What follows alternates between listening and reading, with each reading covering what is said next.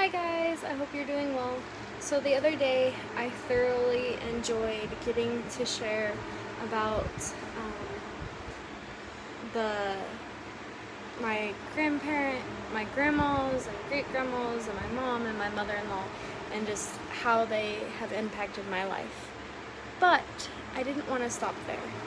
One, I love just just sharing stories about the different people in my life and I want I want Thomas to be able to look back and watch these videos if he chooses and just realize that there are so many amazing people that have impacted my life and in turn impacted his.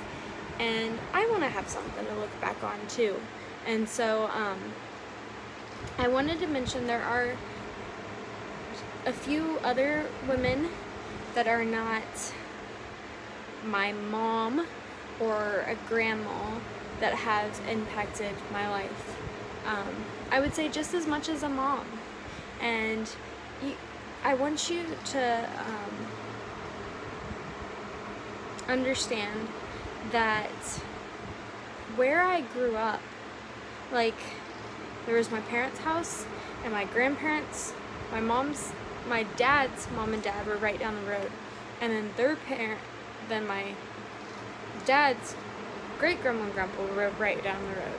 And then there was another great grandma and grandpa that were right down another road. And so we all lived super close. And then my dad's sister also lived right down the road. So, and when I say right down the road, it wasn't like super close, but we were only 10, 15 minutes apart from each other at the most. I don't, it wasn't even 15, 10 minutes apart from each other. Super, super close. And so, one of the things, one of the pivotal moments in my life that brought to light just how special and how good I had it was my senior year of high school. Um, I don't, I don't remember the name of the award, but there was this award where if you had really overcome something, you could apply to win this award. And it was one person from each school that could apply for this like ov overcoming diversity or challenges award. I don't know. It has a name. I don't remember what it is. And so um, the school i went to really small indiana school for the blind. I was there my junior and senior year of high school and there our class got to choose who they thought was worthy of the award. And it came down to me and this other girl. This other girl, completely blind. Um, I think she had some other problems with her back or something. And so she had overcome some things and I had over. And I was, you know, born with cerebral palsy, born with water in my brain, um, affected the left side of my body and my vision and things. And so what it came down to was Brittany, we think you're worse off than she is, and we think you've overcome more than she has. And I was like, oh, okay. And so, like, I wrote my thing, and I, whether you got the award or not, you all got invited to go to this ceremony. And it was a meal, and it was really nice, and there was speeches and things. And then we get there, and meet some of the different people and hear some of their stories. And the person that was chosen had overcome a lot but also didn't have that team of people behind them didn't have that loving family you know and didn't have like this cheer cheering section. Like they had overcome all that without that support. And so, even though I didn't get the award, my mom, you know, really opened my eyes, my mom and my dad, and sat there and said, look at you, you know, this table of people, all these people that wanted to be here for you, this cheering section that you have, and just all these people that care for you. And so that, that really opened my eyes that, yeah, maybe I don't conquer the world or maybe I don't do this or that or whatever, but I still have this gigantic cheering section.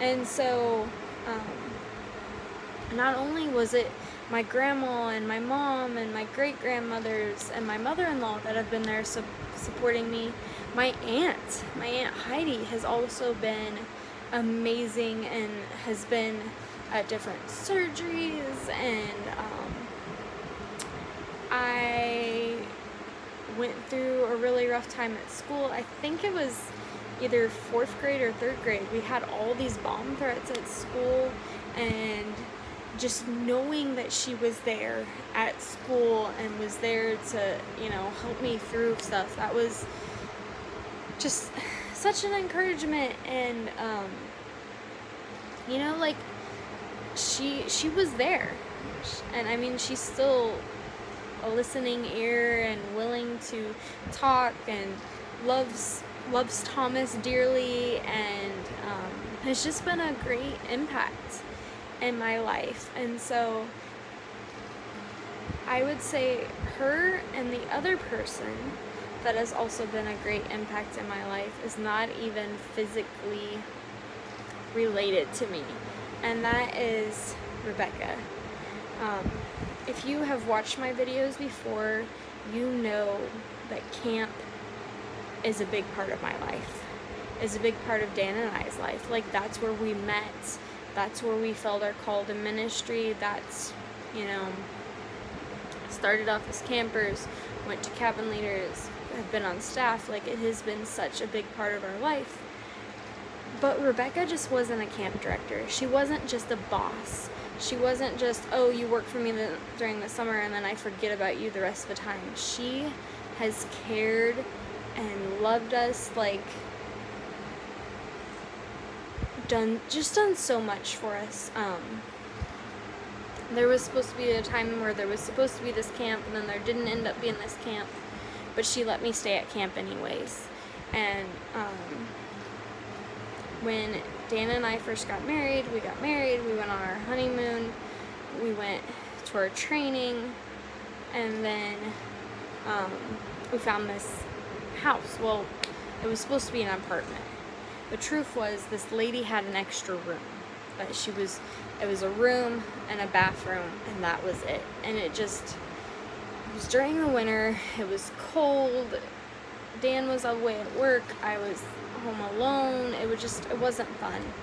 And so she sat there and said, you know what, we have these, we have this house, other house on at camp, you know, why don't you just come live here? You know, you can pay the rent that you were paying for that room and be in a much better situation. So she took us in then and just, we've never, you know, we've never had to like call ahead or, you know, ask for an invitation. The camp, her doors has always been open. She's always cared for us. Like, she's Rebecca, but we also call her mom. You know, she's just, she's done so much for us. And I, I think I've said this in other videos before, you know, like, she could have looked at me and my situation and sat there and said, well, you have a disability, so that's, it's too high of a risk. You know, it's too high of a risk to have you here at camp as a camper. It's too high of a risk to have you here on staff. But she was, her and Max were the ones that turned around and told my mom, like, let's give her a chance, you know? They were the ones that gave me my first job. They were the ones that sat there and said, yeah, we believe that you, you know, you can do whatever you put your mind to. And it just, it meant something. And so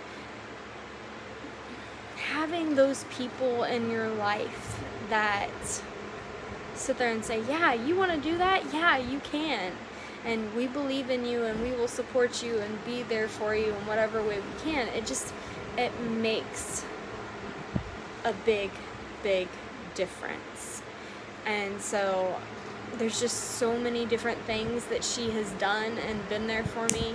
Um, you know, just like Heidi was there helping out in whatever way she could for the wedding, and um, her kids helped out in the wedding.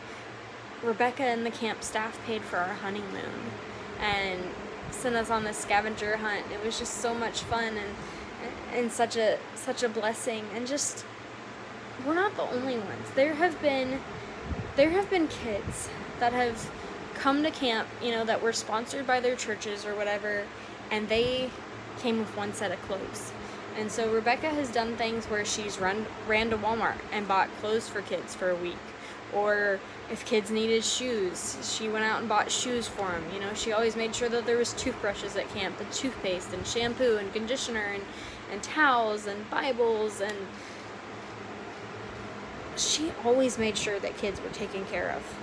And and then at the end of camp, all those camp t-shirts are turned around and donated, you know, to kids that need clothes. And just she's always thinking and doing and serving and it just it makes a big big difference. And and Heidi on the same end is a kindergarten teacher and has given and given and given and you know deals with some of the most difficult kids and it's just it's it's been amazing just to watch these two women and how much they've impacted my life and how much I've seen them impact other people's lives and how much they've believed in me.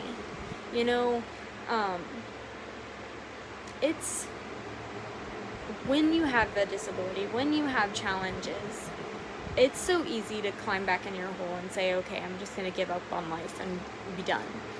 But when you have those people that believe in you and trust that you can do things and say, yeah, you can do this, like that just makes a big, big difference. And um, another person that has been just so special too is my mom's sister, Janie.